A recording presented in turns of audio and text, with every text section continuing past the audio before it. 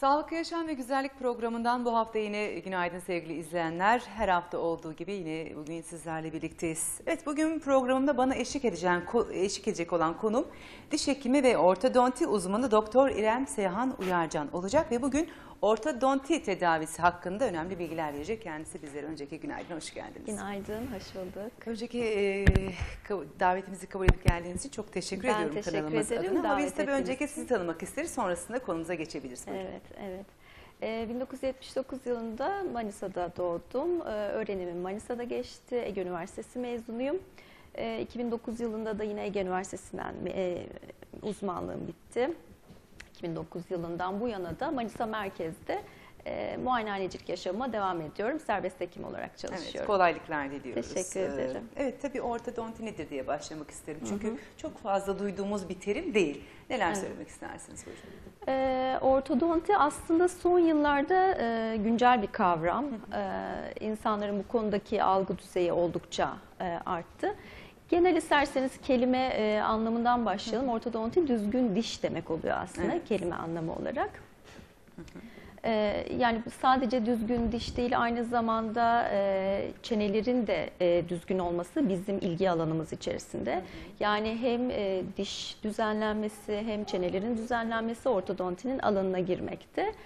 E, ortodonti e, dediğim gibi e, son yıllarda çok e, ilgi gören bir branş hem kendi meslektaşlarımız içerisinde e, hem de toplumda e, Artık estetiğe ve güzel görünmeye önem veren bir toplumuz Evet. ve bu konuda daha da bilinçlenmeye başlıyoruz algı diyebiliriz çok değil mi? yükseldi. Evet, çok iyi. eğitimle birlikte e, bu konudaki bilgi düzeyi de son yıllarda oldukça Evet. artmış vaziyette. Diş estetiği ve diş görüntüsü açısından önemli bir tedavi diyebiliyoruz Evet, değil mi ortodonti için? Peki ortodonti uzmanı kimdir ve nasıl bir eğitim almıştır? Tabii e, diş hekimi adı altında herkes bu uygulamayı, bu tedaviyi yapabiliyor mu? Ayırt etmemiz mi gerekiyor? Neler söyleyebilirsiniz? Aslında çok e, güzel bir noktaya değindiniz. E, Ben de bu konuda özellikle e, sizi bilgilendirmek isterim hem de Tabii ki, bizi buyurun. izleyenleri.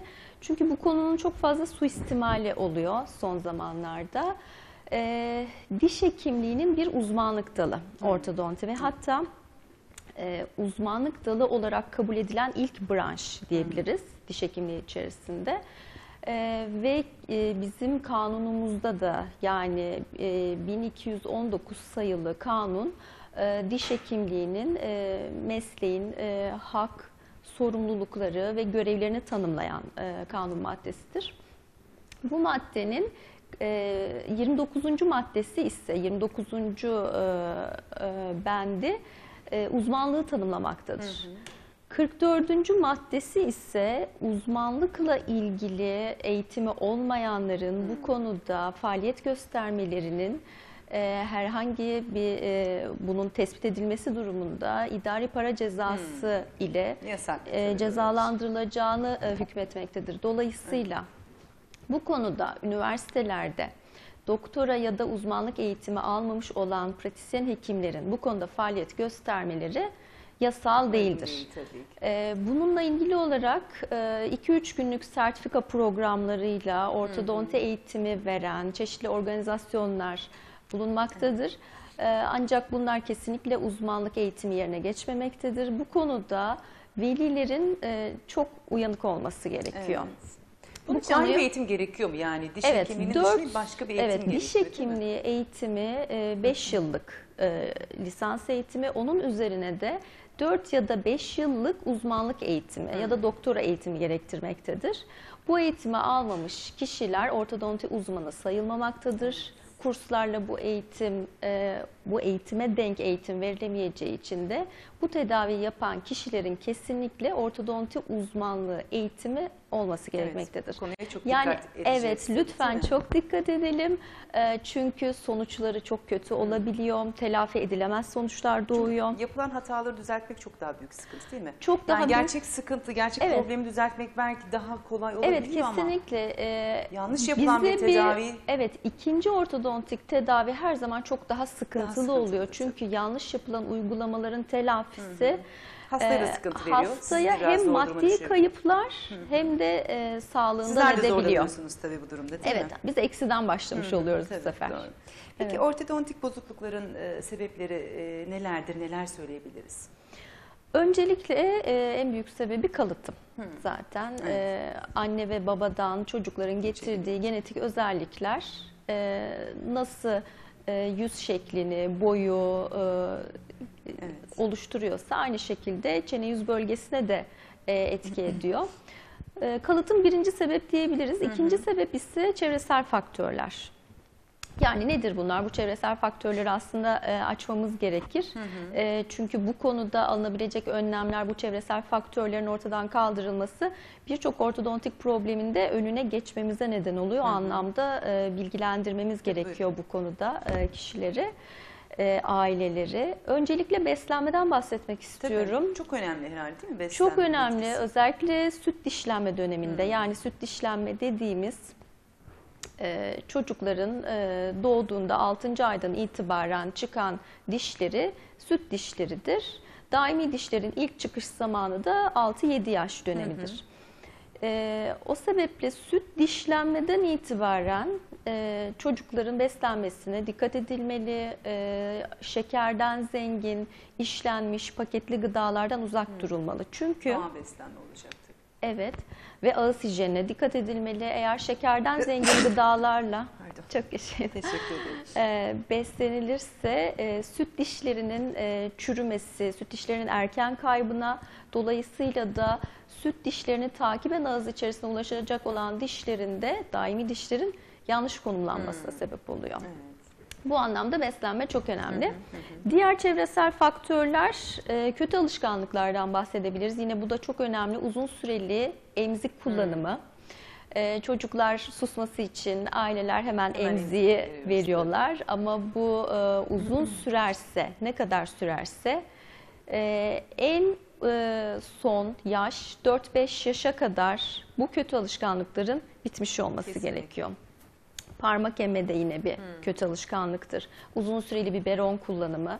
Bunlar da ve diş yapısını o zaman diş çok yapısı, yapısını evet hatta kalıcı deformitelere sebep olabiliyor. Eğer e, daimi dişlenme döneminin sonrasında da devam edecek olursa parmak emme hem parmak deformitelerine sebep oluyor Tabii. hem de ağızda ameliyat gerektirecek kadar ağır e, maloklüzyon, kapanış Aslında bozukluklarına kadar varabiliyor yani bunun Tabii ama tabii aslında bunun kökeninde psikolojik nedenler yatıyor. Yani çocuğun kendini daha güvende hissetmesini sağlıyor. Ee, yani multifaktöriyel diyebiliriz.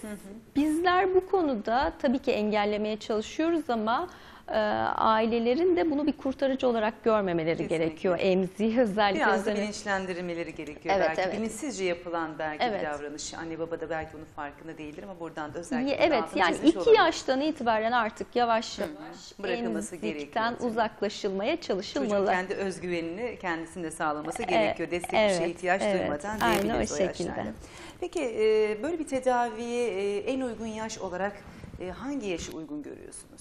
Yani belli bir yaşı var mı tedaviye başlamak için? Ee, Problemin ne olduğu ile alakalı bu e, tedaviye başlama yaşı ama e, hangi yaştan itibaren ortodontik kontroller başlamalı derseniz daimi dişlerin çıkış yaşı olan e, 6-7 yaştan itibaren ortodontik kontroller başlamalı.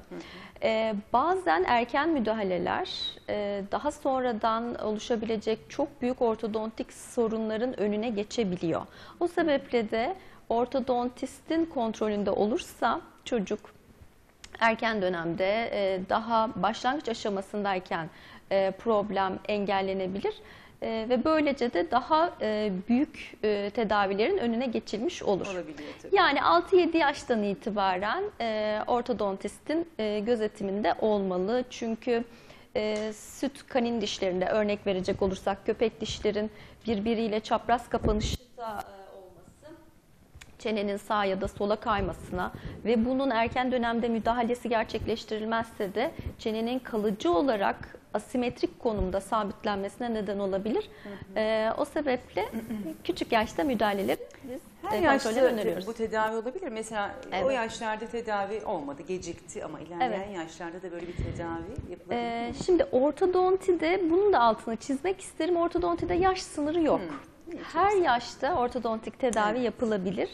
Bizim için e, tabii ki ideal kabul ettiğimiz yaşlar var. Yani e, karma dişlenme, karışık dişlenme dediğimiz e, mix dentisyon döneminin son dönemi, daimi dentisyonun ilk aşamaları ideal kabul ettiğimiz zamanlar. Ama e, şu anda benim kendi kliniğimde 65 yaşında hastam da Hastanız var. varmış, evet. Önemli olan e, hastayı muayene ettiğimiz zaman erişkin hastalarda çevre dokunun sağlıklı olması. Bu çevre dokuyu da açalım isterseniz. Tabii, Nedir tabii, çevre doku? Dişi taşıyan kemik doku ve diş eti dokusunun sağlıklı olmasını isteriz. Ortodontik tedavi başlayabilmesi için. O sebeple erişkin hasta geldiğinde öncelikle bu dokuların kontrolü yapılır. Ee, Eğer herhangi bir ön müdahaleye ihtiyaç varsa periodontoloji diyoruz. Bu da ayrı bir uzmanlık dalıdır. Periodontolog hekimlerin yapacağı ön tedavinin sonrasında tedavimize başlıyoruz. Evet. Diş eti Kombine bir tedavi gerekebiliyor tabii. Evet, öncesinde çevre dokuların düzenlenmesi, tabii, tabii. yani diş etinde herhangi bir iltihabi durum varsa bunun önlenmesi, aktif bir kemik kaybı mevcutsa bunun pasif hale getirilmesi sonrasında her yaşta ortodontik tedavi yapmak mümkün. Ama tabii ki yaptığımız işler sınırlanabiliyor. Örneğin ileri yaşlarda kemik kaybı ile birlikte ön dişlerin birbirinden uzaklaşması, dişler arasında diastema dediğimiz boşlukların oluşmasını kapatabiliyoruz. Ya da arka bölge, posterior bölge dediğimiz çiğnemeyi sağlayan azı dişlerinin kaybından sonra dişlerin boşluğa doğru eğimlenmesiyle protez yapılması ihtiyacı önde, öncesinde dişlerin eğimlerini düzeltebiliyoruz. Bu da erişkinlere uyguladığımız tedaviler farklı içerisinde. farklı tedaviler gerekebiliyor. Evet, Sadece her ortodonti yaşta. tedavisi değil de dediğiniz gibi farklı tedavilerle bir bütün Tedavilerin halinde öncesinde diğer tedavilerin daha kaliteli, protez işlemlerin daha kaliteli, daha sağlıklı yapılabilmesi için de bizler yine o aşamada devreye giriyoruz. Yani özetle ortodonti her yaşta uygulanabilir olabilir bir tedavi. Evet. Evet. Evet bir e, kısa bir filmimiz var. Ortodonti ve tedaviyi tamamen anlayabileceğimiz kısa filmlerimiz var. Önceki onu seyredelim sonrasında devam edeceğiz.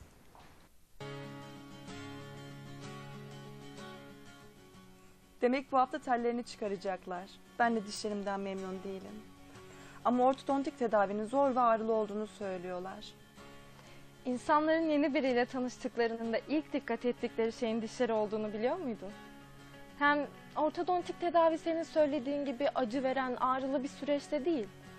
Ya hem sen değil misin saçını, cildini, sporu bir uzmana danışan? Bence en önemlisi insanın kendine güveni. Bu da sağlıklı ve güzel gülümsemekle oluyor. E bu işin uzmanı da ortodontist. Sen tedavi için nasıl karar verdin? Neler yaptın? Biliyorsun dişlerimden hiç memnun değildim. Bu beni çevremle iletişim kurmakta güvensiz hissettiriyordu. Gülümserken bile ağzımı kapamaya çalışıyordum. Öncelikle Türk Ortodonti Derneği Facebook sayfasını görmüştüm. Onlarla iletişime geçtim. Bana yararlanabileceğim ortodontistlerin listesini gönderdiler. Sonrasında evime yakın olan bir ortodontist hekimle görüşmeye gittim ve çalışmaya karar verdik. Ailem de çok destek oldu. Bence sen de kesinlikle yaptırmalısın. Dişlerinin düzeldiğini hissettikçe hem daha sağlıklı hissediyorsun hem de kendine olan güvenin artıyor. Artık gülümserken rahatsız olmak ya da ağzımı kapatmak zorunda değilim. Çevremle daha güçlü, daha güvenli iletişim kurabileceğim. O zaman ben de ortodontik tedavi yaptırmak istiyorum. Facebook sayfaları ne demiştin?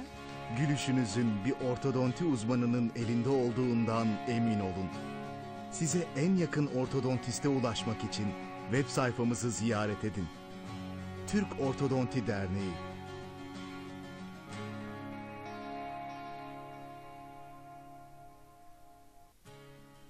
Ortodonti tedavisi sadece dişlerin estetiğinden öte sağlığın bir göstergesidir. Ortodonti uzmanlarımız ve teknoloji sayesinde sadece gülümsetmiyoruz. Konuşabilmekten yemek yemeye kadar mutlu ve sağlıklı bir hayat hedefliyoruz. sürekli gelişen ortodontik tedavi yöntemleriyle çok daha sağlıklı, güzel bir gülümsemeye sahip olabilirsiniz. Gülümsetmek bir sanattır. Türk Ortodonti Derneği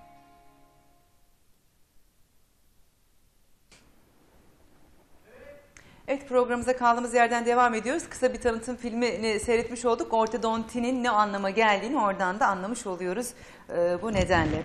Peki e, tedavinin adımları hakkında birazcık ben bilgi almak isterim ama e, ne kadar sürüyor tedavi, kaç çeşit tedavi yöntemi vardır?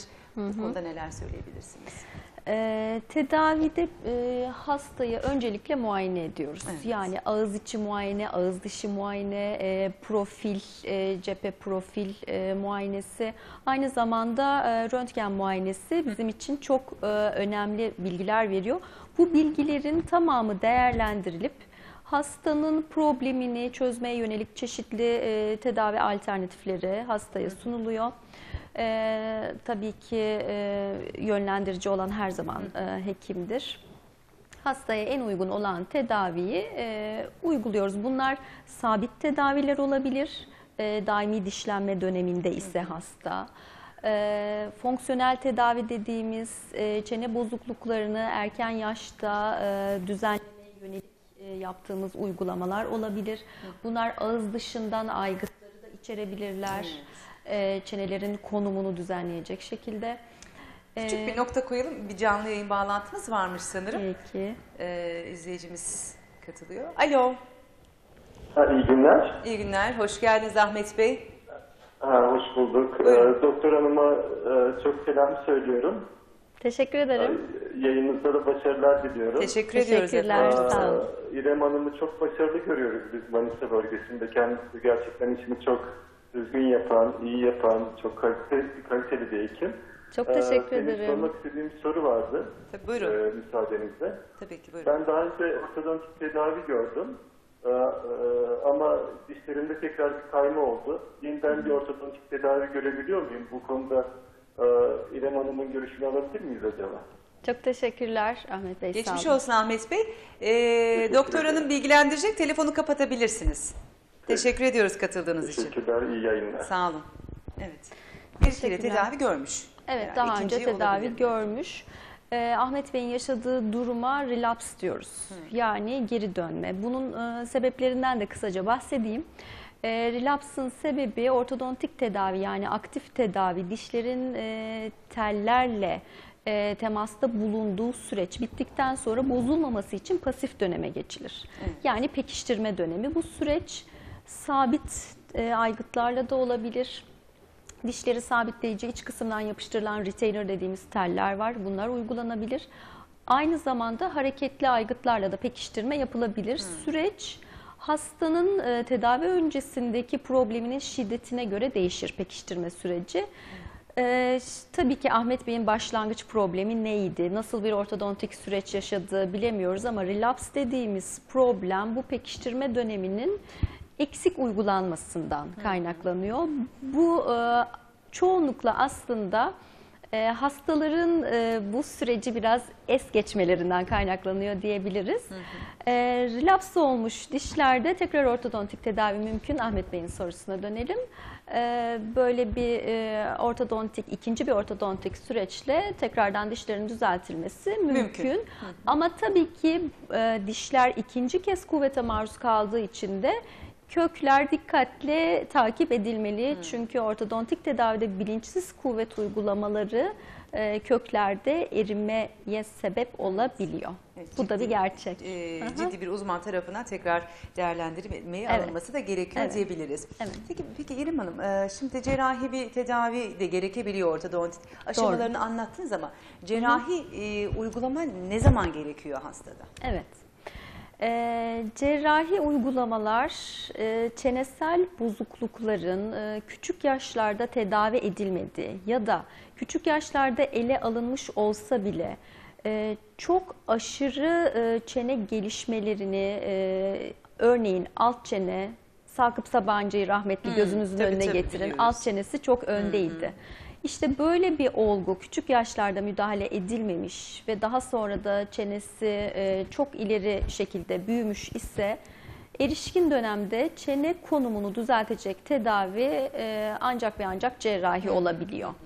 Yani çene kemiklerinin pozisyonunu düzeltmeye yönelik bir tedavi. Bu e, tedavi de ortodontiyi içermek zorunda. Çünkü bizler e, plastik cerrahın yapacağı çene cerrahisi işleminin öncesinde dişleri ameliyat sonrasında düzgün konumuna gelecek şekilde sıralıyoruz. Ardından e, plastik cerrah devreye giriyor. E, çeneler doğru konumuna ameliyatla alınıyor. Ardından da tekrar son ortodontik tedavi işlemlerle biz son düzenlemeleri gerçekleştiriyoruz. Yani ortognatik cerrahi dediğimiz e, cerrahi işlem ortodonti ile birlikte yürüyen bir işlemdir. Tek başına e, cerrahi işlem olmuyor. Yani erişkin e, bireylere uygulanıyor. Evet, işlem. özellikle mesela duyabiliyoruz doğuştan dudak, e, damak, Damak, yarı hı hı. gibi bu tarz Evet. tedavilerde de ortodontinin belli bir görevi var mı? Çünkü Evet. bu tarz tedavileri hani cerrahi dediğimiz gibi plastik cerrahların e, yaptığını biliyoruz. Sizin bu noktadaki göreviniz ya da nedir? rolünüz nedir? Evet. Ee, bizler dudak damak yarıklı bireyler dünyaya geldiği andan itibaren aslında yaşamlarında belli aralıklarla hep bulunuyoruz. Tedavilerine dahil oluyoruz. İlk aşamada e, dudak damak yarığı aslında nedir? E, bu bu şekilde anlatıldığında belki e, hani halk arasında çok anlaşılamayabilir. E, tavşan dudak ya da kurt ağız şeklinde de tanımlanabiliyor. duyabiliyoruz. Evet. Sadece dudak kısmını, sadece damak kısmını ya da her iki bölgeyi de dişleri taşıyan e, damak bölgesinin yarık olması da e, şeyi e, yarık bölgesini e, farklı alanları içerebiliyor. O sebeple bizim e, ilk aşamada bebek doğduğunda beslenmesini sağlayacak şekilde yediklerinin burun boşluğuna kaçmasını engelleyecek damağı kapatıcı bir beslenme plağıyla öncelikle devreye giriyoruz.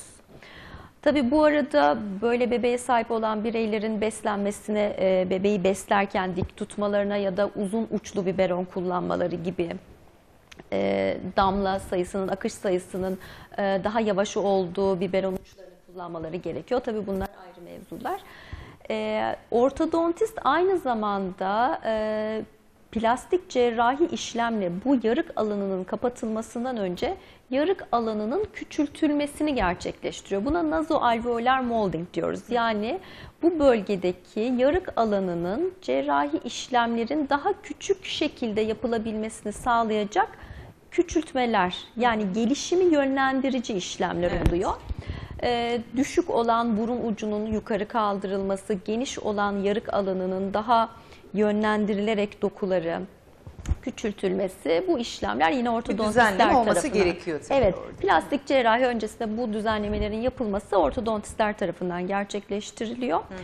Ee, bu işlemlerin e, süreçlerine bakacak olursak tabii ekoller arasında farklılıklar olabilir ama 4. 6. ayda bebeğin e, doğum ağır- ağırlığına bağlı olarak e, ay e, farklılık gösterebiliyor.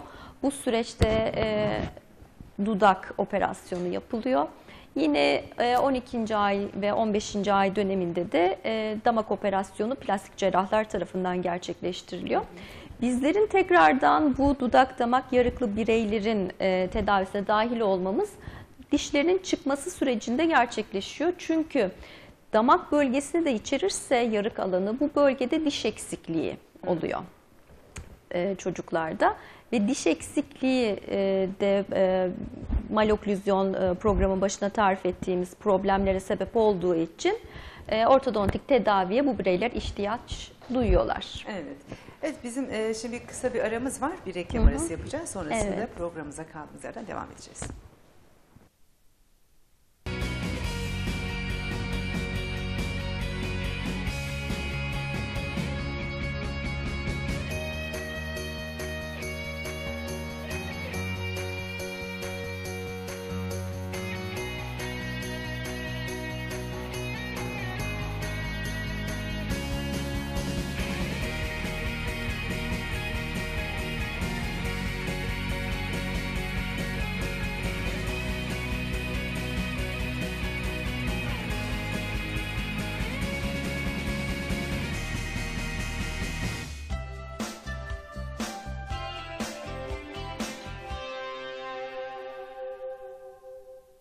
Abel Estetik. Güzelliğinizin adresi. Utku Mahallesi, İzmir Caddesi, Çiğsem Rezidans No 24 Taksima, Kat 4, Şehzadeler, Manisa. Bilgi için telefon 0553 454 7531. Ege Çiftliği adres Cumhuriyet Mahallesi 75. Yıl Caddesi numara 144 C3 Yunus Emre Manisa. Ege Çiftliği. Doğa dostu, enerji tasarrufuyla bilinen dünyaca ünlü Bosch marka beyaz eşya ve küçük ev aletlerini garanti kapsamıyla Erdinç Ticaret Bosch mağazası en iyi hizmetiyle Manisalılara sunuyor. Teknolojide konforu yakalamak istiyorsanız Erdinç Ticaret Bosch mağazasına mutlaka uğrayın.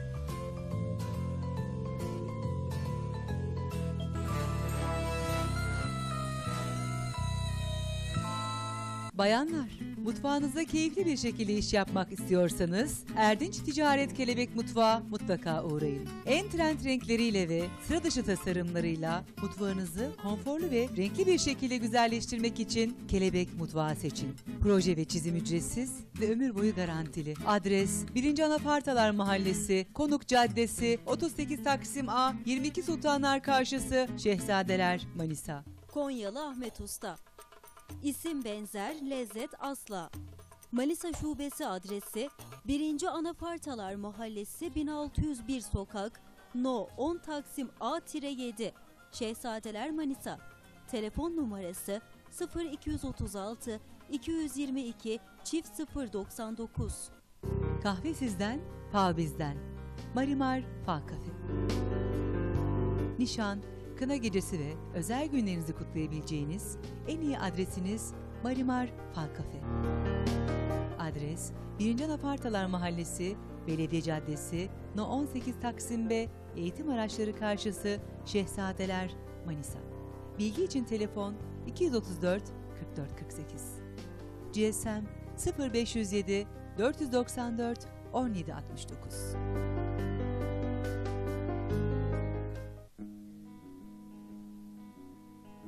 Farklı tasarımları, Manisalıları taşıyan Ofisom, kamu ve özel sektörün ihtiyacına cevap veren özgün çözümleri sizlere sunuyor. İstenilen ölçü ve projelerle ofis malzemeleri ve dekorasyon çalışmalarında lider marka Ofisom. Biz en iyisini yapmak için buradayız. KDV indiriminden 30 Nisan'a kadar yararlanabilirsiniz.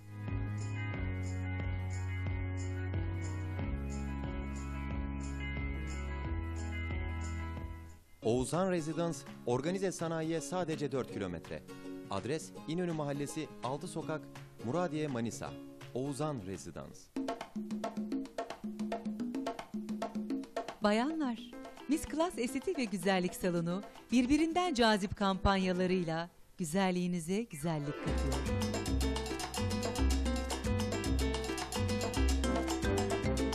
Güzelliğin en klas adresi Miss Class Estetik ve Güzellik Salonu.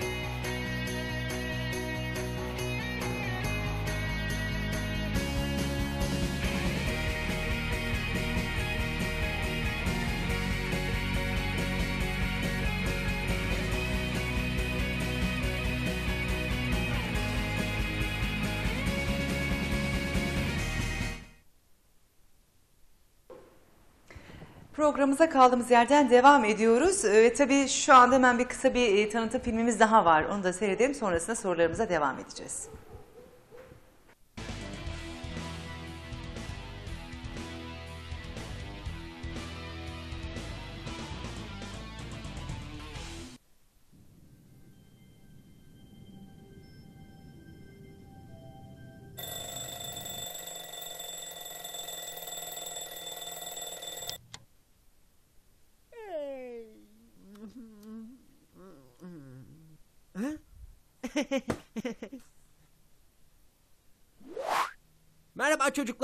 Benim adım Orti. Benim görevim ortodontik tedaviye ihtiyacı olan arkadaşlarımıza yardım etmek.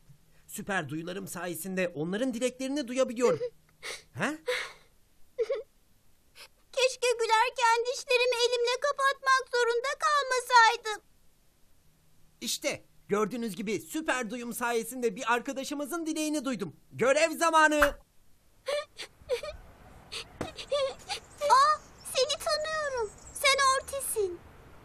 Evet.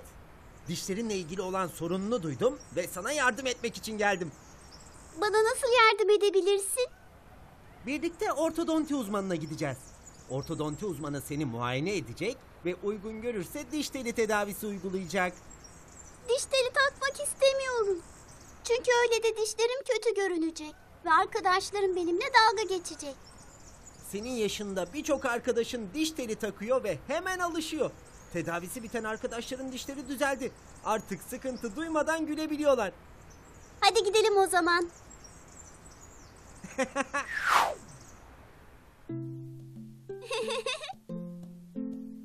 Anneler ve babalar, ağız ve diş sağlığı için çocuklarınıza günde 3 kez dişlerini fırçalamaları gerektiğini anlatınız. Çocuklarınızı 6 ayda bir diş hekimine kontrole götürünüz. Diş teli takılması gerekiyorsa çocuğunuzu mutlaka ortodonti uzmanlık eğitimi almış hekimlere emanet ediniz.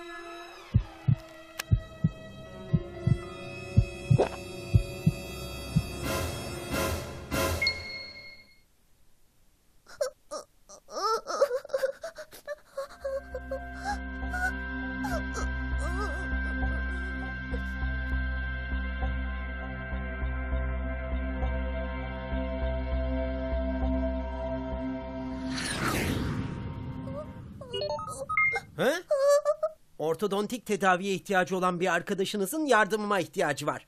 Süper duyularım sayesinde onların dileklerini duyabiliyorum. Keşke diş teli taktırmaktan bu kadar çok korkmasaydım. İşte gördüğünüz gibi süper duyum sayesinde bir arkadaşınızın dileğini duydum. Görev zamanı. Ha? Orti? Hey!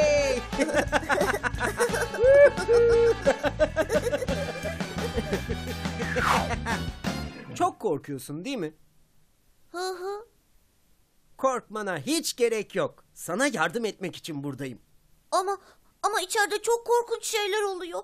Oraya girmek istemiyorum Orti. Bak işte yine oluyor. Hiper saydamlaştırıcı cihazımla aramızdaki duvarı kaldıralım bakalım. Şimdi ne görüyorsun Mert? Vay çok iyiymiş ya. Hı hı. Braketleri dişlerine takmadan önce dişlerini özel fırçalar ve parlatıcılarla temizleyeceğim.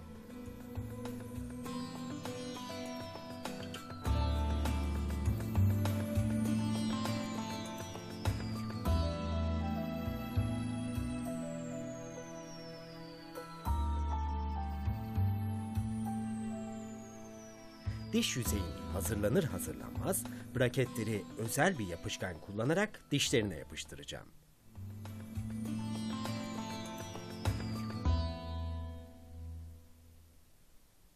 Her braket için yapışkana özel bir ışık tutacağım ve dişin düzelmesini sağlayan ark telini yerleştireceğim. Ark telinin kaymasını önlemek için her braketin çevresine de küçük lastik halkalar yerleştireceğim. Hatta istersen bu lastiklerin rengini sen seçebilirsin. Bu işlemler sırasında hiçbir şeyi hissetmeyeceksin. Bu işlemler senin canını yakmayacak. Ark teli takılıp sabitlendikten sonra braketi rahatlıkla kullanabilirsin. Korkacak hiçbir şey yokmuş gerçekten. Çok teşekkür ederim Orti. He? Görev beni çağırıyor. Başka bir arkadaşının yardımıma ihtiyacı var. Gitmem gerek.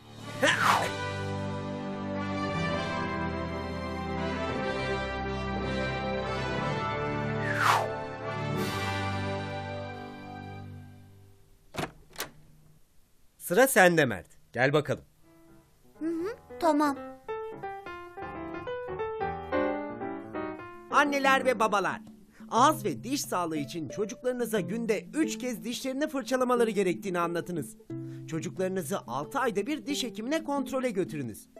Diş teli takılması gerekiyorsa çocuğunuzu mutlaka ortodonti uzmanlık eğitimi almış hekimlere emanet ediniz.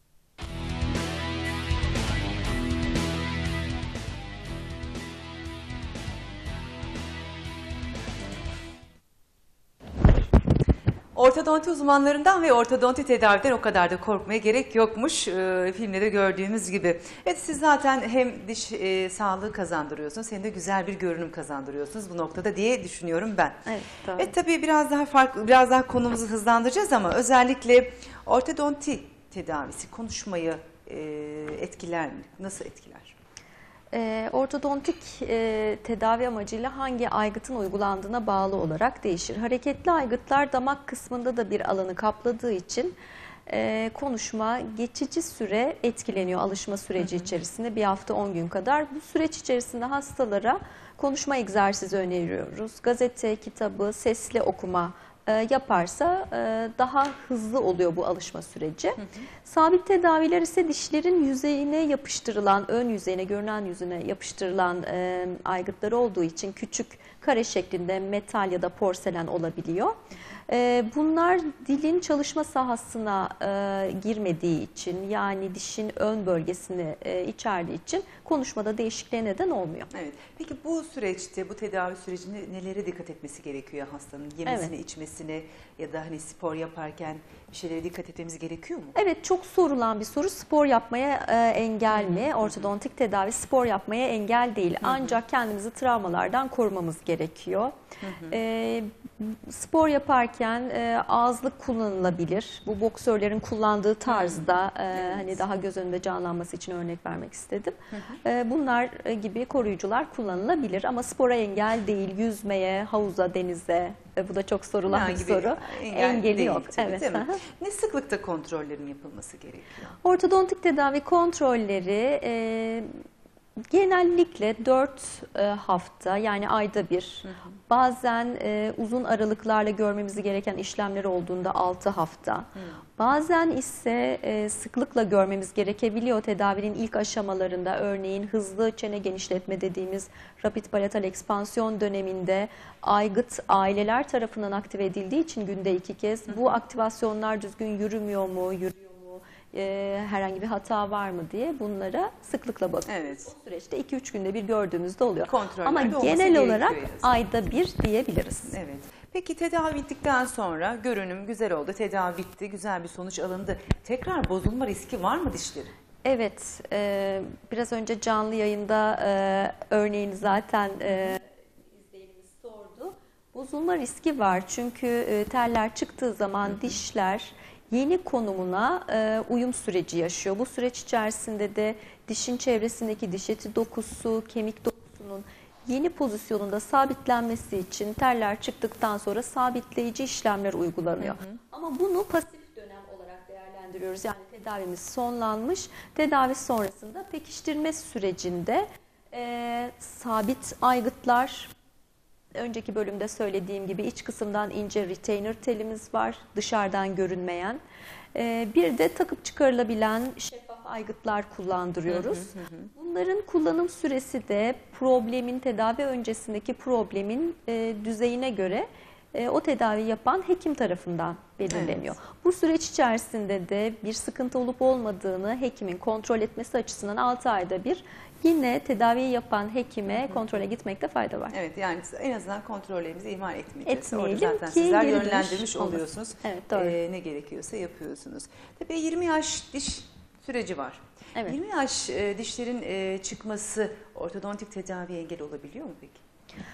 Ee, Evet, 20 yaş dişinin pozisyonuna bağlı olarak değişiyor. Bunun e, tetkik edilmesi için zaten tedavi öncesine çektirdiğimiz filmler e, bizi yönlendiriyor. 20 yaş dişinin pozisyonu, dişi hareket ettirmeye, bir önündeki dişi hareket ettirmeye engel olacak pozisyonda ise tedavi öncesinde alınmasını istiyoruz. Ama bu e, çok sıklıkla görülen, yaşadığımız bir durum değil. Çoğunlukla tedavi sonrasında aslında bitiş döneminde çektirdiğimiz filmlerin sonucuna göre 20 yaş dişlerini değerlendiriyoruz. Ve e, bozulmaya neden olacak pozisyonda ise, gömük kalma riski var ise, pozisyonu yatay e, ya da e, tamamıyla kemik içerisine önü e, kapalı tıkalı ise o zaman çekilmesini tavsiye ediyoruz. Hastaya Relaps göre değerlendirebiliyoruz. olmaması için. Evet. Ama 20 yaş dişleri kesinlikle ortodontik tedavi öncesinde çekilmelidir. Görüşü yanlış. Evet. Ee, bir de tabii diş telleri olan kişiler belki soruyorlardır size de MR çektirebilir miyiz? Bir sakıncası olur mu gibi çok, sorular e, geliyordur ama. Güzel bir soru. E, bu da e, hastalarımızda e, MR'a ihtiyaç duyan hastalarda sıklıkla yaşanan bir problem.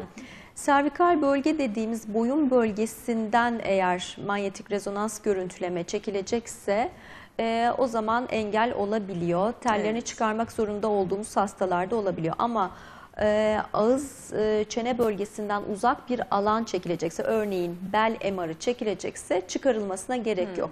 Çıkarılma nedeni de şu e, manyetik rezonans e, bir mıknatıs gibi düşünebiliriz. E, ağız içerisine uygulanan tellerde e, metal alaşım olduğu için e, bu braketlerin e, manyetik rezonans etkisiyle dişlerin yüzeyinden kopması riski var ve bu süreçte de bu gerçekleşirse de dişler zarar görebiliyor.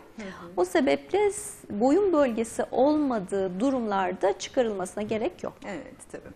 Tabii e, biz en önemli konuya daha doğrusu değinmek isterim. Biz uzman kişiyi nasıl seçebiliriz? Yani gerçek ortodonti uzmanlarına nasıl, Nasıl- nasıl ulaşabiliriz? Evet, doğru.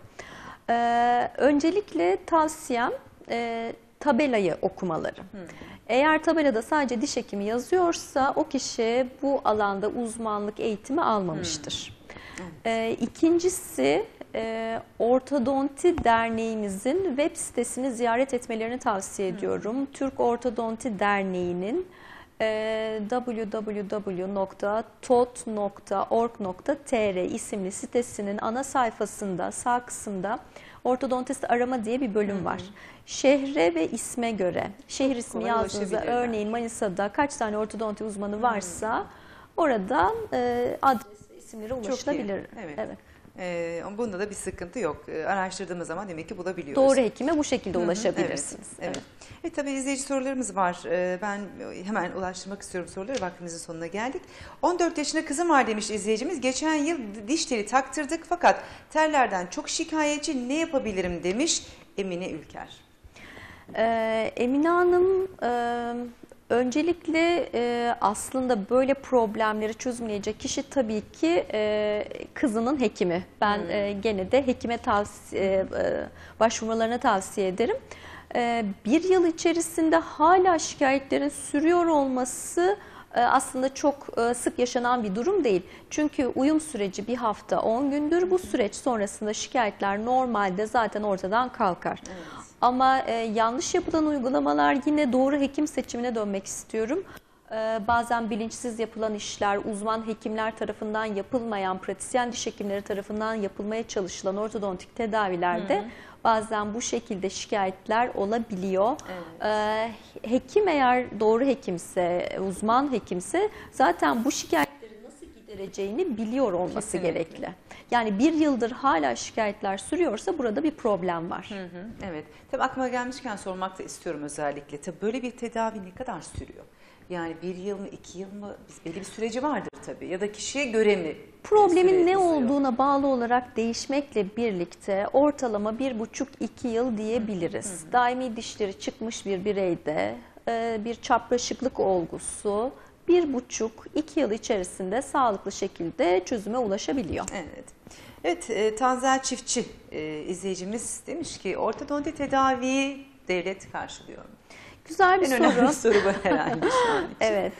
Keşke tamamını karşılıyor olsaydı. Bunu hepimiz isterdik. Ee, ama Avrupa'da bile e, tamamı karşılanmıyor. Bizim ülkemizde ise 18 yaşına kadar tamamlanması koşulu ile e, belli e, paketler halinde ücretler hastanın hesabına tedavi bitiminde geri yatırılıyor. Ama toplam e, maliyet içerisindeki kısmı yüzdesi oldukça düşük. Ama yine de bir katkı sağlıyor. E, hiç katkısı olmamasından Yani iyidir. birazcık bir nebze olsa en azından insanları bu konuda motive etmesi açısından faydalı bence. Ama Devamını Normalde isteriz. biraz daha özel bir tedaviye giriyor diyebiliriz. Ayhan Çandar izleyicimiz demiş ki diş telleri dişte leke yapar mı? Diş minesine zarar verir mi? Evet o çok önemli bir konu ama Evet. sanırım şeffaf braketler falan da var değil mi? Yani farklı farklı malzemeler Materyaller farklı, herhalde. evet ama riskler aynı. Ee, sabit olan aygıtlarda bunlar e, şeffaf da olsa, porselen, seramik dediğimiz braketlerde olsa, metal braketlerde olsa ağız hijyenine dikkat edilmediği takdirde riskler, Tabii, yani bakım çürük çok riski e, var. O sebeple her öğün sonrasında ve yatmadan önce florlu diş macunlarıyla e, ekstra yardımcı e, fırçalar kullanarak, diş arası fırçaları, ortodontik fırçalar kullanarak çok güzel şekilde ağız hijyeninin Bu sağlanması sadece gerekli. tedaviyle değil, kişinin kendi bakımıyla da alakalı diyebiliriz Evet aslında, mi? aslında ağız hijyeni iyi sağlandığı takdirde ortodontik tedavide Evet. bu riskler sıfır. Böyle sorun olmayacak diyebiliriz Evet, en azından. ağız hijyeniyle alakalı yani kişinin özeniyle alakalı Evet. diyebiliriz. Evet tabii programımızın sonuna geldik. Çok güzel bilgiler verdiniz, önemli bilgiler verdiniz ama son olarak muhakkak bir önerileriniz, bir tavsiyeleriniz olacaktır. Neler söylemek Evet, istersiniz? evet. Öncelikle e, çocukların ortodontik sorunu olup olmadığını aileler tespit edemeyebiliyorlar. O sebeple e, daimi dişlerin, kesici dişlerin çıkma yaşından itibaren ortodontiste muayene amaçlı çocuğun durumunun ne olduğunu öğrenmek amaçlı başvurmalarında fayda var. Onu tavsiye etmeliyiz. E, ikincisi ortodontik tedaviye başlayacak ise çocuklar ya da bireyler e, kişinin uzmanlık eğitimi alıp almadığını, e, hangi noktada uzmanlık eğitimi aldığı bunu bile araştırmalılar. Çünkü çocuklarına emanet ediyorlar, kendi ağız diş sağlıklarına emanet ediyorlar. E, uzmanlık eğitimi çok çok önemli bu konuda. Bunu da bence irdelemeliler. Evet çok çok teşekkür ediyoruz verdiğiniz bilgilerden Ben dolayı. teşekkür İnşallah tekrar görmek isteriz biz yine e, burada sık Ben olarak de ağırlamak isteriz. ediyorum. Aha, Eksik Ben de memnun oldum. Çok sağ olun. Evet sevgili izleyenler dişlerimiz bizim için önemli. Değerli doktorumuzun tavsiyelerini dinlemek şartıyla diyelim. Ve tabii bugün e, hemen tabii e, yarın çok anlamlı çok özel bir gün 18 Mart Çanakkale Zaferi. Tüm şehitlerimizi e, rahmetle anıyoruz E, ve bu vatan bu millet e, her daim barış ve huzur içerisinde yaşasın diye umut ediyoruz. Buradan herkese selamlarımızı gönderelim. Biz Ailen Vaktin bu hafta yine sonuna geldik. Haftaya görüşünceye dek şimdilik hoşçakalın.